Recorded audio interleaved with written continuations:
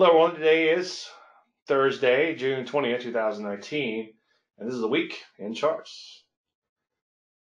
As usual, I want to thank everybody for being here. I appreciate you taking time out of your busy schedules. I am honored by your presence, obviously. There's a disclaimer screen. As you know, you can lose money trading, or as I often like to sum it up, all predictions are about the future, and a lot of stuff can happen between now and then. All right, what are we talking about? Well, obviously, current market conditions, your questions on trading, your favorite stock picks. If you don't mind, hold off none or questions that aren't related to the slides until we get to live charts, and then hold off your stock picks too, and that's for your benefit to make sure I actually see them all.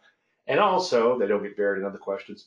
I can't imagine we have a whole lot of setups today, given the nature or given conditions in the overall market, since we follow a pullback methodology. I want to get back to the TFM this week, and the reason is we had a few questions come in, and we've been talking about it quite a bit in the Q&A under the members area. But there's some points that I, I think are worth revisiting or visiting, however you want to look at it. And then I guess obviously, where's winner? Okay, real quick, TFM system update. Let me give you the rules because I know if I don't, somebody's going to ask. You want to buy when the market is less than 10% away from its 50 week closing high and the last two week lows. And this is using a weekly chart, okay? Or above the 50 week moving average. In other words, you have two weeks of Landry light. And then you want to exit. This is a long only system.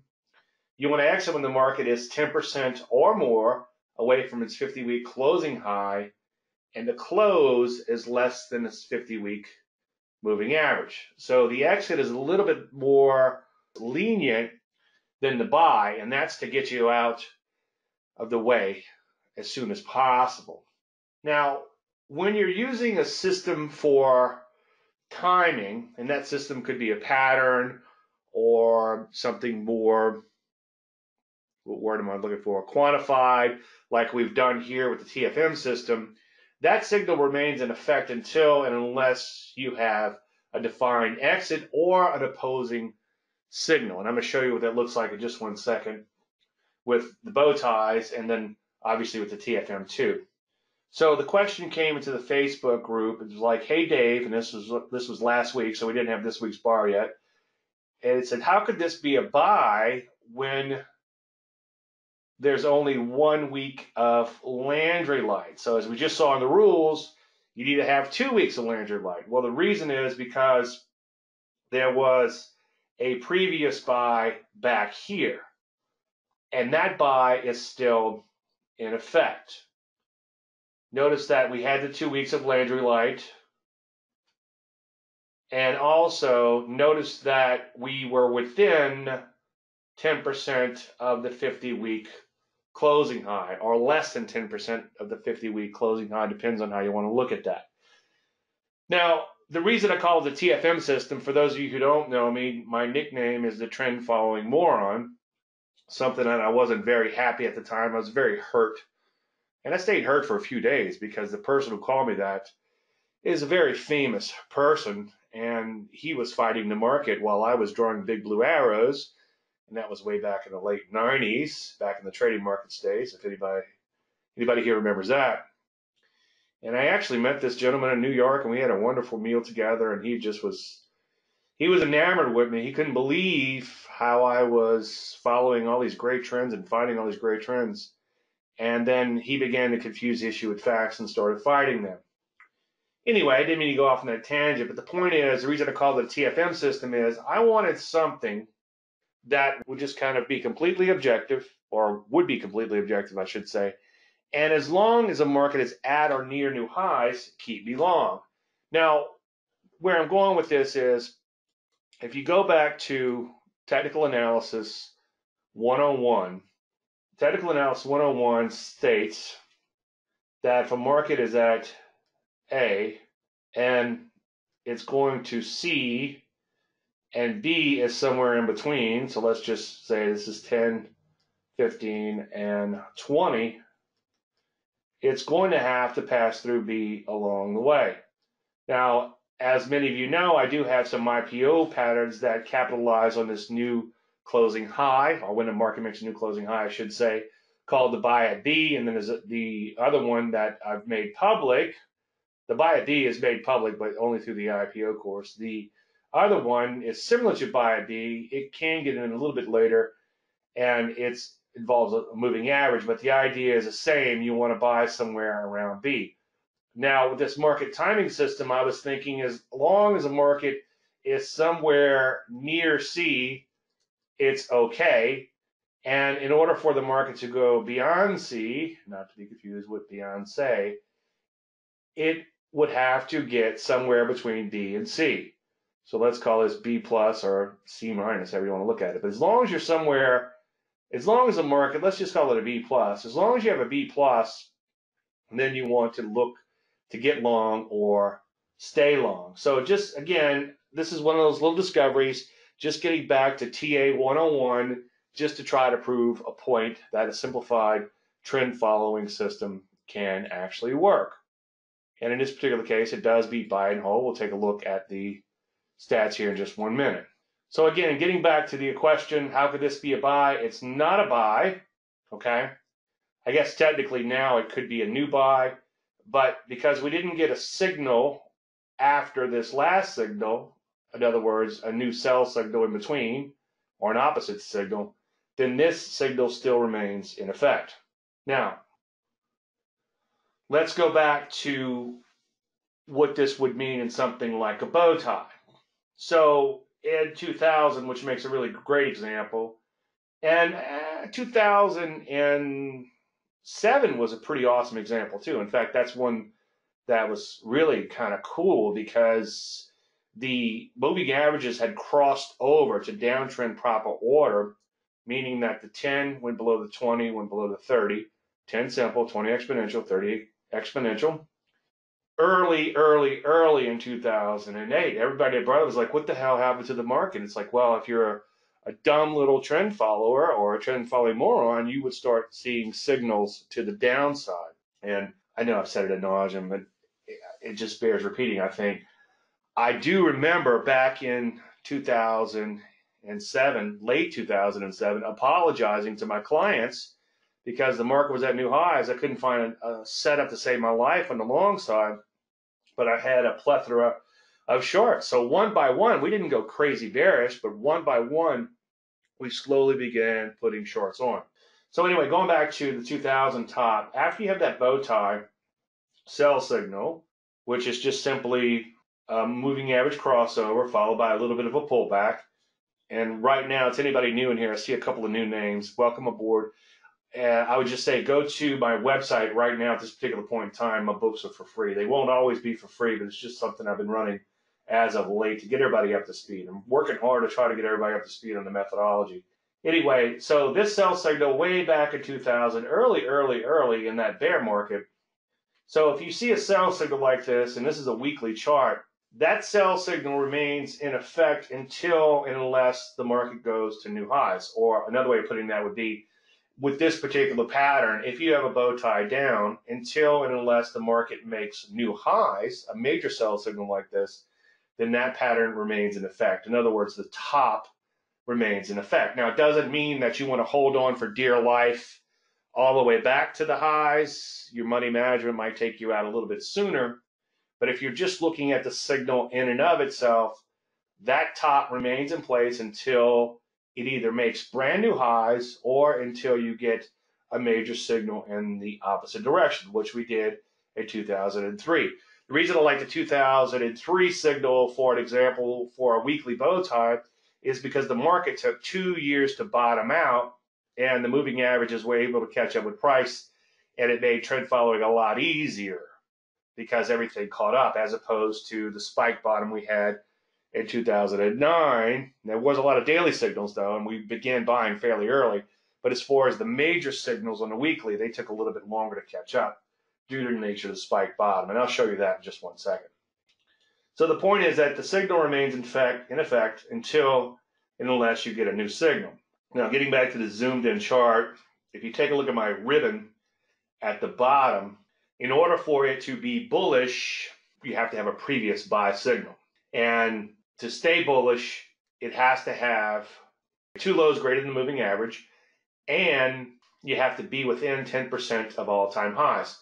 So if you get further than 10% away from all time highs, or you intersect the moving average, then it goes to neutral. So you can see in this particular case here, it didn't get further than 10%. This black line here is a 10% line. It didn't get further than 10% away from its moving at from the 50 week high, okay? But it did intersect with its moving average. So you can see that's why it went from bearish to neutral. So I kind of see that as a warning.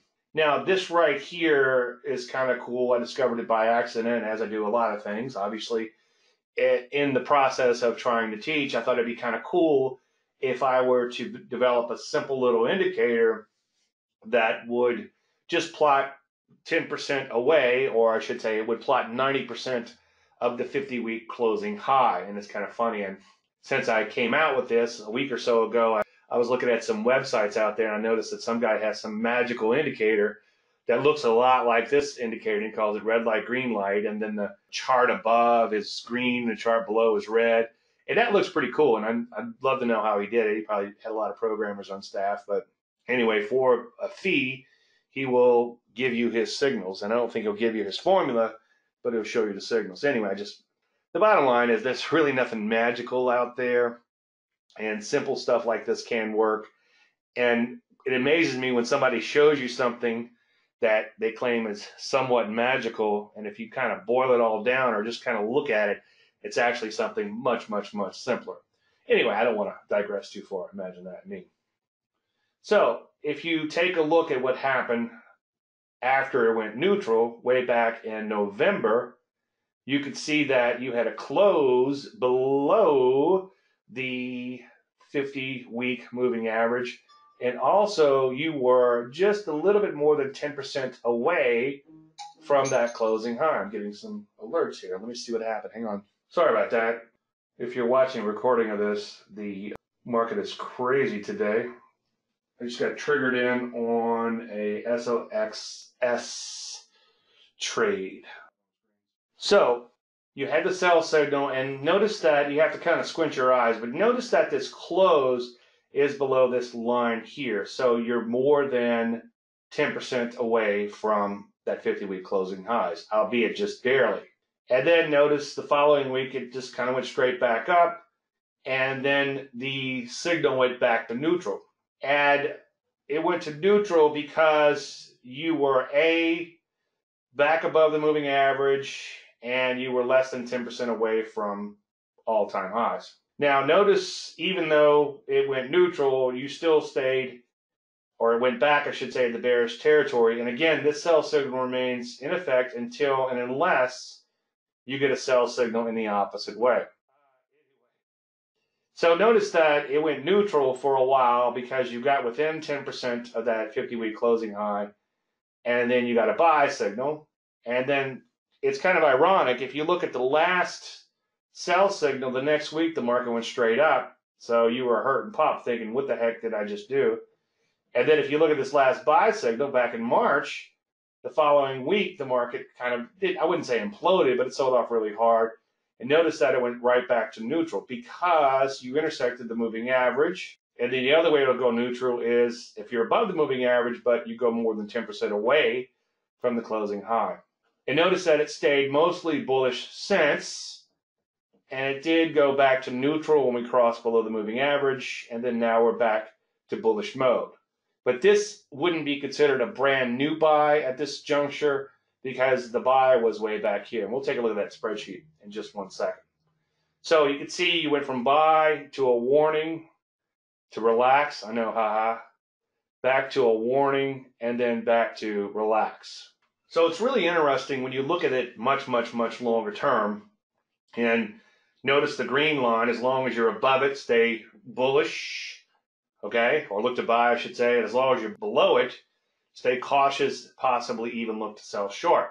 So if we go back and look at this, you could see that from 2000 on down, it became bearish and it was neutral just for like a week or two. but for the most part, it stayed bearish the entire bear market. And then noticed it never did go bearish again for a long, long time after that 2003 signal. And it stayed either bullish or neutral, slightly neutral, just for a little while. I should say, the neutral periods were very small in between.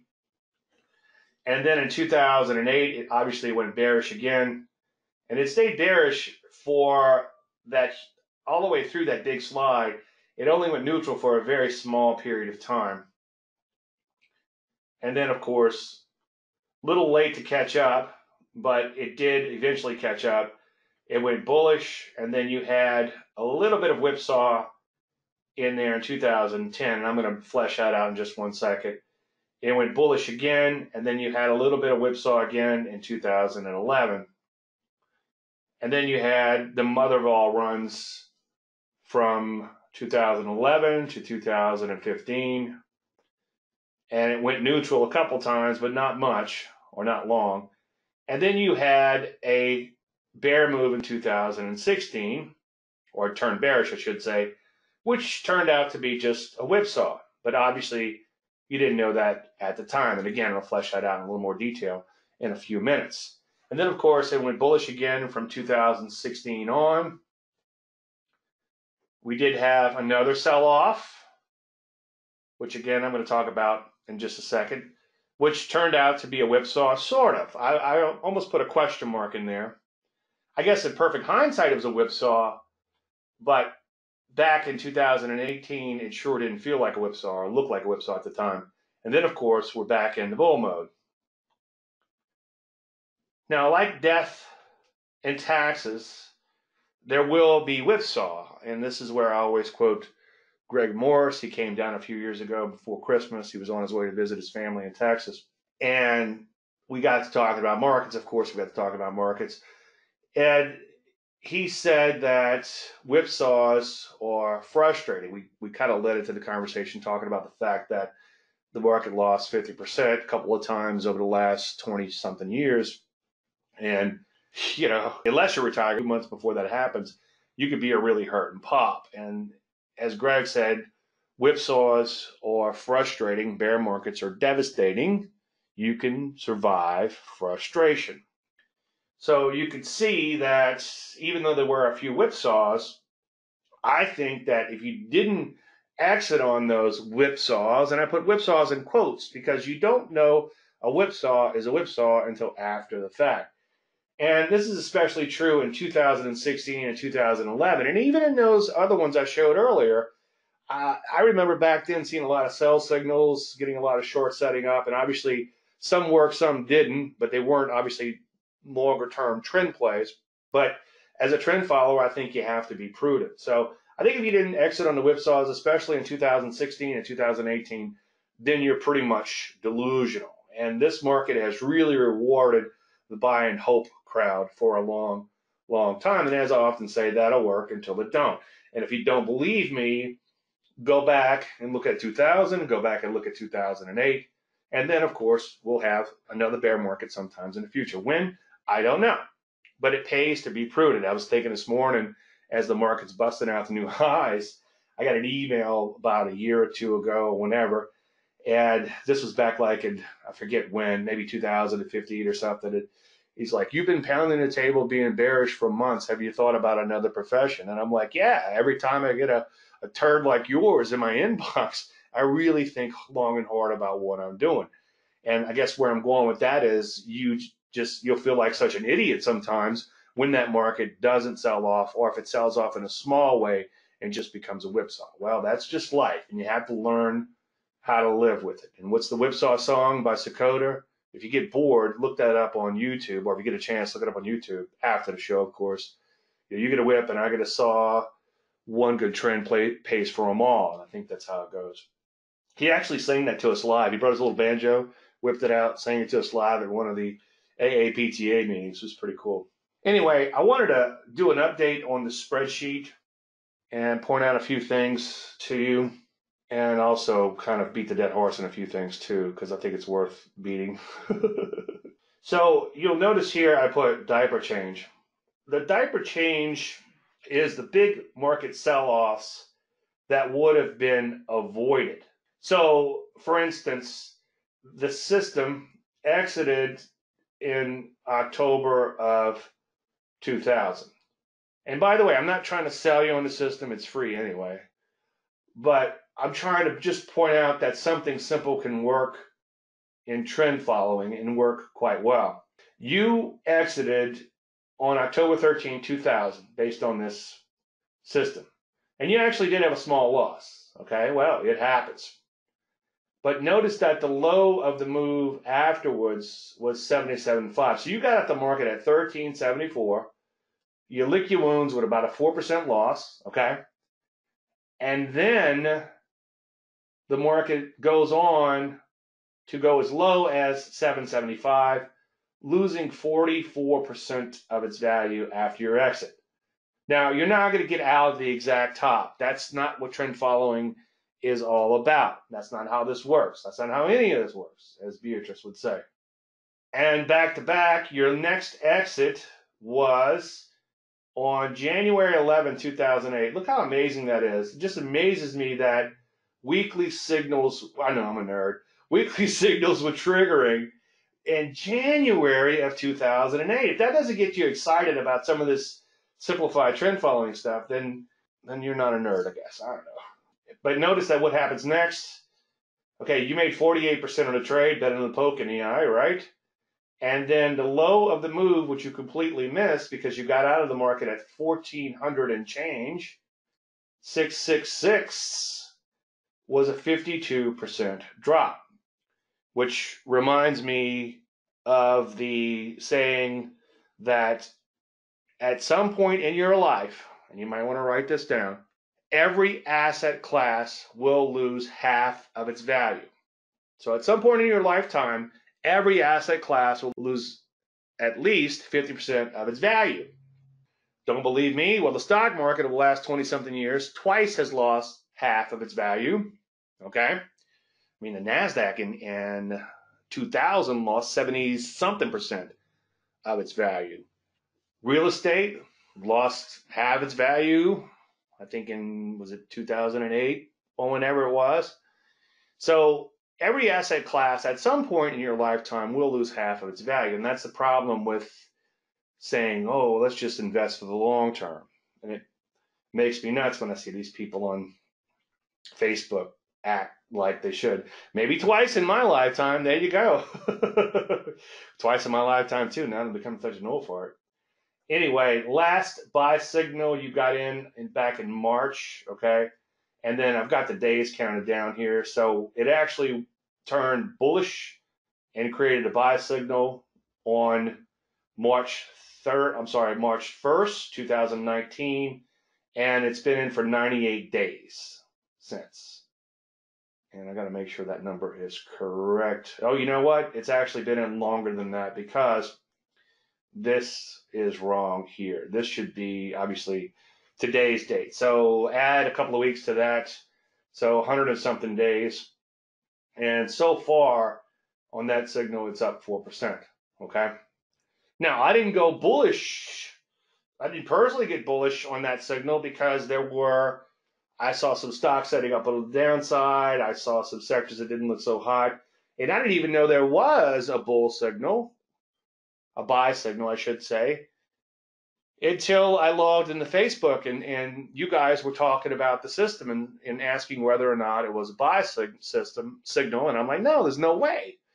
And then I looked and I'm like, wow, it, it's a buy signal. And I was kind of amazed because I was so bearish, I couldn't figure out how in the world, or I thought there was no way in the world, I should say, that this thing would actually trigger a buy. But it did. Just real quick, I think I kind of beat the dead horse on a lot of this stuff too much. You can't beat it. What's I had a client in his Marine drill sergeant said you can't beat a dead horse, but you can flatten it. So I do flatten the dead horse quite a bit. But to recap, again, I think the most important thing about a system, not so much the bottom line, not so much the percent correct or whatever all these system guys freak out over, but more importantly, what's the diaper change look like? Okay. And in here, you've got a 10% and there's 11% right here. And like I said in prior weeks, that's a pretty big number, 10%. So you got a half a million dollars in the market, you lose $50,000. Depending, depending on what you make a year, that might take you a long time to make up with wages. And I remember last December, I was getting phone calls from friends and relatives and other people about the market, and they were saying, "Well, I put so much, I put 10 grand in my 401k, and I'm down 10 grand, so it's like that's a 20 grand swing." And I'm like, "Well, yeah, that's what happens in markets if you're a pure buy and hold person." Now, obviously, it worked out, and I don't want to digress too far. Imagine that, but the problem with again the buy and hold is it'll work until it don't, and the market is a very bad teacher. Stop if you heard that before. And my example here was when I was moving a few months back the in the U-Haul place, the guy had on CNBC, and I told the guy that I dabbled a little bit in the market. I didn't say, "Oh, get a website," blah blah blah. you know? and um, he said, "Man, am I glad I held on through December. I only wish I would have bought more." He was bummed out that he didn't buy more at the lows. So that poor bastard. The next time the market begins to implode, he's going to catch that falling knife. Okay. Any questions? As far as buy and sell signals, how do you approach new system when you have contrary moves and Qs, S&P, Dow, and Russell? Well, okay, it's an interesting point because the market, it's like putting together pieces of a puzzle. And I'm kind of shocked that we gapped to all-time highs in the S&P this morning, and I'm fading that gap. Just, but I'm not gonna, I'm not gonna hold overnight. Don't worry. This is just a little opening gap reversal play.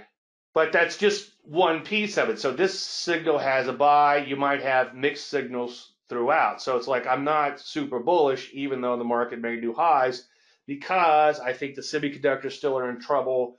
I think the stock, the, the transports still might be in trouble. Internet still might be in trouble, and a few other sectors in here.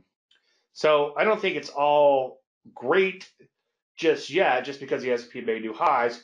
But if you're using this one little piece, this one little piece might begin to wake you up to say, hey, hey, Dave, stop being bearish because, go back to be a, T, a TFM, because the overall market is actually doing better than you might think. Base is the S&P 500. I should rephrase that. The S&P 500 is doing better than some other areas, and maybe you can begin to think, okay, maybe the S&P will lead us out of this. I will tell you this though, I did. I've, I've got order. I've got resting orders in, and I I exited a, a half a position this morning because it hit the profit target. I am selling into this with both fists, not because I'm I'm super bearish, but because that's what my system is telling me to do. And I am, I guess I am mostly long if you don't count the fact that I, I had, do have one short position. Okay, a couple of thoughts. So did that did that answer your question? You just have to use it as a clue. Okay, fantastic. Okay. Okay, random thoughts regarding a TFM system. This is something that I was talking about over the last month or so with the Dave Landry members in the Q&A.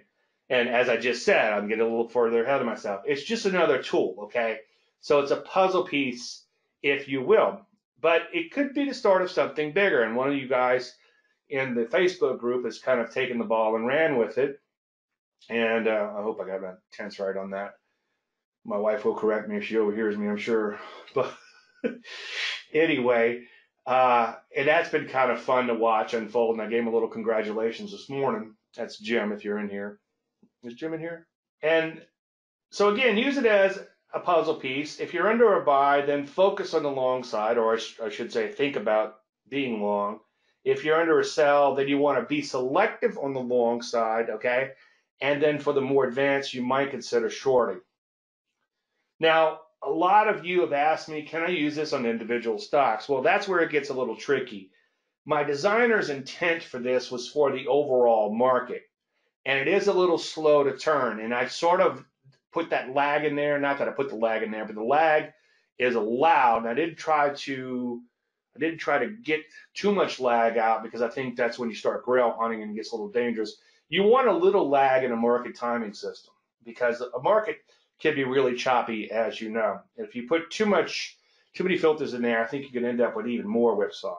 It's ironic the thing you're trying to avoid, you could end up with more of it, or you could end up with a system that just doesn't work, gets you in way too late.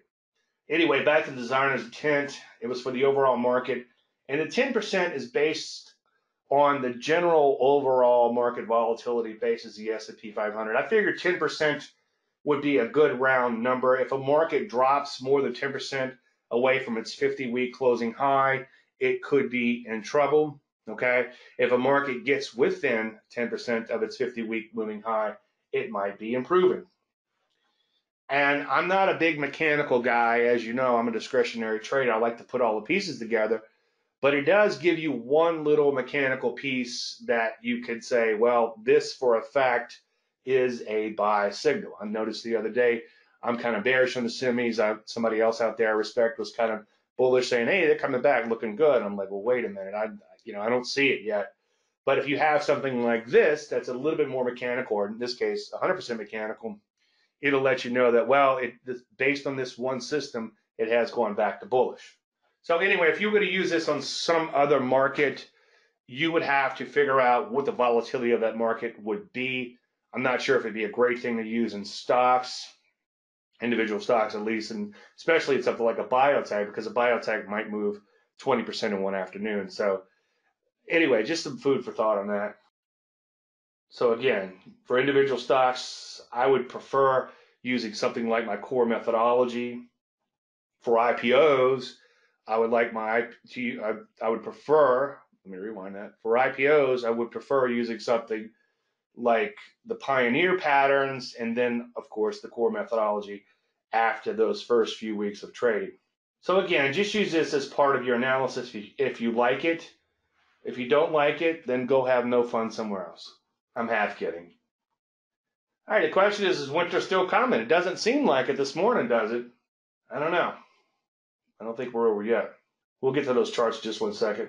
If you are a member of Dave Landry Members, and I, I hate to keep prodding you guys, I guess I'll send you an email to remind you. See if I can get a reminder and uh, a sign of an email. Do join the Facebook group. It is for members only, so you have to be. It's free, but you have to be a member of DaveLandry.com to be in the Facebook group. And we've been having a lot of fun there. And my ultimate goal with this, as I've been preaching, is create a mastermind group. Everybody gets up to speed by going through the courses. And then we go to Facebook and we kind of hash it all out. And it's been a blast. I've been having a blast. You guys have given me a couple of good stock picks, and I've put out a few okay stock picks too. So anyway, to join the if you're already in a member, just click on that link right there. It's going to ask for your email that you used to sign up and then we can cross-reference you to make sure that you're a member. If not, I hate saying no, but I might say no. I will say no. Anyway, point being that we have a lot of great discussions. This is just one of them when Pinterest came out as a buy it B type setup. And also with this learning management system, it's like I you people say I beat the dead horse a lot, and I do. And and but one client in particular, I said the same thing about seven different ways. And then one day he calls me up and I said it an eighth different way. And like a light bulb went off and he finally got it. So the other thing with that particular client too was he didn't know one particular aspect of my money management. And I thought I had said that ad nauseum. So by putting it to a learning management system where we can track the progress, we know if a piece may be missing from your education vis-a-vis my methodology. Anyway, I'm a nerd, but I'm pretty excited about all this stuff. And there's a lot of bonuses that come along with it. I'm not going to go through all that and bore you too much. No, no, too late. Okay, we have an invisible chart here. All right, let's take a look at the S&P 500. Sorry if my mic goes uh, quiet every now and then. I'm um, keeping a loose eye on the market. Not that you should watch the market, not that you should watch every tick. The point is that you should have orders in place. And that's why I'm watching to make sure I don't have to place any orders.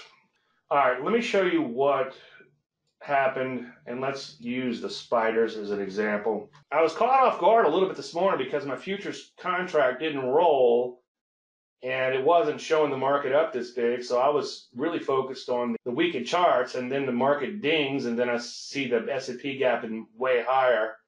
I saw the spiders were up, but I didn't do the math and see that they were up so big. Well, so far we've got an opening gap reversal here. I know day ain't over yet. Let's not start kissing each other just yet. But I think when you see a gap that big to all-time highs, it's worth trading the opening gap reversal. Now it's a little bit more advanced, but what you do is you can let the market open, and if it doesn't make that immediate huge reversal on the open, which makes it, your life a little easier, then you could put in a stop order to short the market below that opening range. Now, I do like these. I hate these for longer term trading, okay?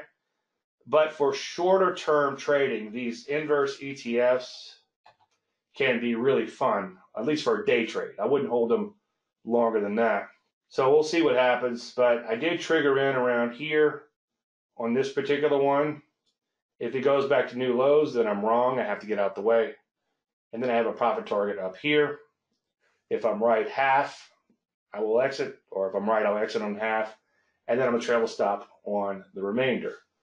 Not enough time to get into this today, but there are automated ways of doing that. We discussed that yesterday with a couple of walkthroughs, or one walkthrough in particular, in the Q&A. So it's all in there. And I spent a lot of time talking about opening gap reversals. So my intention is not to teach them today, but just keep an eye out for them, especially in something like the spiders when you see these big old fat gap opens like this. So what happens is everybody and their brother rushes to buy, and it's kind of like a now what type of situation. Also, if you think about it, there's been shorts. I would imagine there's shorts out the wazoo trying to short this market because it doesn't make sense or it shouldn't be going up, whatever their reasoning is. And they rush in to cover or they get or the margin forces them out. Okay, you got to realize that that happens too and they get squeezed out. So that buying happens early in, in, early trading. But once that buying exhausts itself, remember, if somebody's short a market, that is pent up buying. And that's kind of a, you kind of have to wrap your head around that. Okay. And they eventually have to buy. He's, he would sells what isn't his and must buy back or go to prison. Anyway, so that's the P's as a trend following moron, I'm not going to argue with all time highs. As a trader, I question whether or not this is the all clear, at least just yet. Now, my big problem was, if you've been paying attention to these presentations for a while, was we had this big old fat V-shaped recovery at a high level. What does that mean? Well, it meant the market sold off and then went straight back up very hard for a market to go straight up for a long time, right? And that had me a little nervous because by the time you get all the way to new highs, you're already overbought. So we did have this correction in here, which looked like could be the start of something bigger. And then now we have like a mini V back up to the prior highs. Now it doesn't mean that we can't keep going, but we're already overbought going into these highs. So I would be cautious. I would not rush out and buy stocks today. If you're long stocks, as you probably should be, because we have been seeing some opportunities here and there, at least at IPOs and things like that, this is a good opportunity to lighten up, provided, of course, you're hitting those additional profit targets. And I'll show you an example of that in just one second. In fact, I'll show you that right now so don't forget. This was one we were long, and this kind of reminds me of the Y trend following is hard we triggered it back here, and then went up a little bit, felt pretty good. Came back in, went up a little bit, felt pretty good. And then it's just been chopping sideways forever. And this position has been underwater for a long, long time. Well, I don't believe in dead money in the purest sense of the, of the word, or the dead money is like is a position that, that shows no promise of future improvement. Well, how do you know that it will show no promise of future improvement. If you knew it wouldn't show no promise ever, then yes, you should get out. But if you were not stopped out and you're following your methodology, then you should continue to follow along. I would be willing to bet a hundred bucks that 90%, maybe not 90 because my clients are getting a little smarter, but let's say 80% of the people who took this signal when I put it out probably exited long before today. Okay. Now, we take partial profits because we don't know if that's all we're going to get. And you can see it's already come off those levels this morning. We the IPT I think was around 26 or at 26 exactly on this one. And now your stop is at break even. So if this stock stays above where we got in, then we'll continue to follow along as good little trend followers. If it comes back in and stops us out, then so what? I know you might have to drop an F bomb, but at least you got something out of trade out of the trade. It's better than a poke in the eye. Every now and then I think, oh, I'm going to get cute because this might be the best trade in the world, and I find myself tempted not to take those initial partial profits, and I just kind of close my eyes and do it because it sucks if that market keeps on going. Sucks in a good way. but you feel like you feel like dang i could have left on that bigger position. Well you just have to learn to live with the fact that your position is going to be smaller even though you finally caught that elusive trend. You just have to live with it. And that's the hard part of any type of trading. It's hard to live through this. It's hard to take those partial profits at 26 and then watch it two seconds later go to 27 okay? But you have to have a process and you have to follow those rules now let's take a look at the NASDAQ. NASDAQ's kind of interesting in here because obviously we didn't get past the prior high, and obviously we got a pretty serious reversal underway. Now, could the NASDAQ and the S&P and some of these other indices turn into a triple triple top? Yeah, certainly they could. I don't trade directly off of big picture technical analysis. But if I get a bow tie after a double top or some other pattern after a triple top or whatever, then I might consider taking that pattern because I have that bigger picture technical analysis behind me. Learn all the big picture technical analysis, but apply it sparingly. Find some signals that will be a little bit more obvious because some of those chart patterns aren't always obvious. And then back those signals with bigger picture technical analysis. Let's take a look at the Rusty. Rusty gapped open this morning, but look at that. It's only up up a little bit less than a half a percent. Okay, so it's giving up some of those gains. My big problem here, as I've been saying ad nauseum, is you have this big thrust, you got this retrace stalling well short of the prior highs, and then a new leg lower. Now, if we continue higher in here, especially we take out this little peak, then maybe we don't have anything to worry about that. There. Okay, let's take a look at the semis. I've been really bearish on the semiconductors. And I really don't think they're out of the woods yet. That little alert that just went off a few minutes ago was me triggering into SOXS in here. You can see so far it's been a little bit of an opening gap reversal. So getting back to the semis, let's take a look at that a little bit longer chart and see if I can flesh out what I'm saying. This is a four day chart. So on a four day chart, you can see that so far it's been thrust followed by pullback.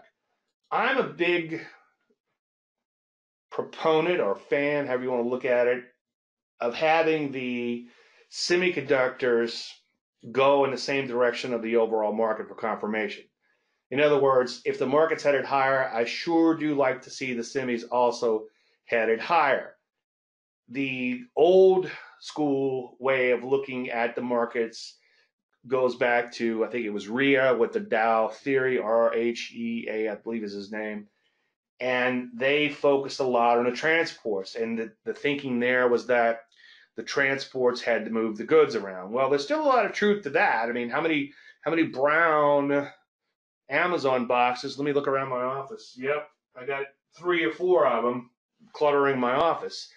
You know, how many how many of these Amazon? We got a dumpster in front of our house that's being built. My office is is being built as part of the house, and it's full of Amazon boxes. And I don't think that the materials came from Amazon, but somebody in the neighborhood I think is dumping all our Amazon boxes on us. So the point is, yeah, goods are still being moved by transportation, by transports, by trucks, planes, trains, and automobiles. So there's probably some importance of that. But as somebody pointed out years ago when I made this semiconductor argument, is that the semiconductors or the electronic highway. Anyway, don't want to get too deep into that, but so far, I don't think the semis are really confirming what we're seeing. And so far, we have an opening gap reversal, at least on a micro in the semis. So that's what I'm a little concerned about. Let's take a look at Internet's another one of these areas. Internet just doesn't look good at all. That looks like a big old fat shark to me. Thrust down, followed by a pullback. All right, anyway, so even though overall market bases the P's at least, breaking out the new highs, and even the P's themselves, especially looking like the spiders, you can see so far stalling out a little bit in that gap higher. I still think the market could be in a little bit of trouble, but hey, if all the indices make it to new highs, and the sectors start joining in the fray, then I'm not going to worry as much. I guess there's always something to worry about. Dave, I feel like if I was selling options or doing covered calls over the last three weeks, I would look like a genius. Individual volatility in stocks has been rising over the last month. Well, yeah, but then with the fact that the market went up, you, you would you would be called out of those positions and you would only make you'd be limited by your by what you made on the calls yeah, in, in selling options, I don't know, selling options is a quick way to have a very brilliant but brief career on Wall Street. So be really careful with that. And and the problem is it can work for a long, long, long time. Two drink minimum on stories here, but I've seen a lot of crazy things happen. Believe me, a lot of crazy things happen to me too. But that's beyond today's conversation. All right, you guys want to open up for individual stocks? Feel free to start punching those in now. I guess to those who are new here, if there's a stock you want me to take a look at for you, I'll be happy to do that now. Okay, bonds are still rising in cost. Do you factor that into market analysis? No, uh, I look at bonds, okay, to see what's going on. Bonds up means rates down, so that's probably a good thing. The thing about intermarket technical analysis, as I preach, and I would encourage you, Murphy's book is as good as any. He actually wrote the first book, literally wrote, literally wrote the first book on intermarket technical analysis. I would encourage you to read it. The problem, and as Murphy points out himself, is that there's long lead and lag times. You can't trade off it. Now, I remember in the 90s, in the mid to late 90s, and maybe even afterwards, you can almost trade bonds off stocks and stocks off bonds and things like that. There was a really good inverse correlation, or positive correlation, whatever the case may be. I hear you though. So this is kind of cool that these bonds are breaking out to brand new highs in here, at least over the last year or so. So that means that the rates are low. So that means that you, it's going to be hard to chase yields or get any get any income on bonds. So what do you do when this happens? Well, you go to stocks. Okay. That gets really complicated when you start doing all that intermarket technical analysis. I think it only matters when it matters. What's the dollar doing? Dollar should be tanking a little bit. See, when rates go down, the dollar goes down. Okay, when rates go up, the dollar goes up. So you can see the dollar's tanking a little bit in here, inverse to bonds. It's another way of looking at that. So it only matters when it matters, at least in, in more uh, modern day. But yeah, I do take a look at bonds here and there to see what's happening. And if bonds really start imploding, then I begin to get concerned. Pring has a really good model out there somewhere, a drawing where you have bonds topping, stocks topping, the whole nine yards. I forget what he calls it. It's kind of cool to look at, but it's really hard to actually time off of it. But longer term, it's kind of cool to, at least in history, go back and look and see how it all played out. So it, it will help you to not become a perma bull, a perma bear by looking at that long term. I don't know if it's an economic cycle that it, it, it plays out, but looking at that long term bond cycle, bear cycle, bull market cycle. So check that out. Yeah, this is one I've been watching. This is one that's been on my momentum list. It just didn't pull back enough for my taste based on the volatility of it. Even though this is fairly extreme in here, I'd like to see even more of a knockout move. And it's kind of a little, wide and loose, even though it took off. HV is up around 84. So, and you know, maybe I'll regret this, but I've been real super duper selective as of late And I saw this one, but I just felt like it needed more of a knockout move before going after it. The problem that we all have is we all tend to have a perceptual distortion, which sort of is a corollary with selective perception. And let's say this stock goes to 20 or 30, I'm going to probably be kicking myself in the butt for being so selective. But one thing that I do find myself making a note of, and I would encourage you to do the same thing, is to pay attention for when it doesn't work. And there's been a few lately that have absolutely imploded, okay? And that's made me feel a lot better by sticking to my guns and being selective. And this is kind of a, a similar example, but sometimes I'll see a stock that I was present uh, previously long and it'll be doubled or tripled since I've been in it, and I'll get bummed out. But I'm also cognizant of the fact that some of the stocks that I was previously long have halved or gone to zero. Okay. And that kind of wakes you up to the fact that you have to follow the process, even though it means there's going to be some FOMO in there and feeling like you're being left behind. But you got to be really careful on that. All right. Time. Months ago, I met, my, I met my physical therapist for all these repetitive injuries, and uh, he's like, "You dabble in stocks?" I'm like, "Yeah." he says, I'm in Okta. I'm like, oh, this thing has been." I, I tell you what, I've been tempted ever since just to jump in and buy some, you know, so if uh, next time I go see him, at least I can say I'm long with him. That, that'll probably stop it from going higher. Yeah, you know, it's a momentum stock, maybe on the next pullback, but right now it's just banging out new highs. I don't see any reason why you should go out and, and buy it. Okay, shop. Yeah, it's another one banging out new highs. Now, one thing I would caution you on this one, and this is the the price for perfection thing that I tried to explain yesterday. I'm not sure if I did such a good job, but look at the volume on this thing. Okay, it's got a huge amount of volume. It's now 300 something dollars a share, and another way to look at it too is anybody's ever bought it is now happy and still holding it, obviously.